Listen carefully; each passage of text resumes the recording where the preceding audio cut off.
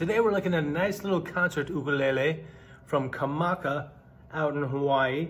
This is the HF2 model. This guy we took in on a trade with a Kamaka Soprano as well. There's a pair of them. Mint condition. There's no visible signs of wear anywhere on this beauty. Pretty much just set in its case. It's got a low G setup already. Action super low.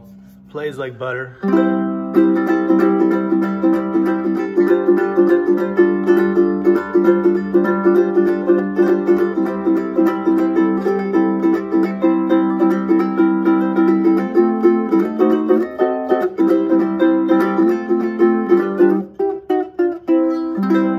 Really nice sounding ukulele.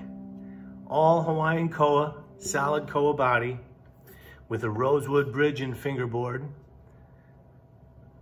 The mother of pearl Kamaka logo there. It has the Gotoh UPT tuners with these white pearloid buttons, which are super cool, keeps it in tune beautifully. Also comes with the perfect condition Kamaka hard case here. These normally sell for a little over 1300 bucks new, which this pretty much is. So here's your chance to save on this guy. Check it out at AlohaCityUkes.com. Aloha.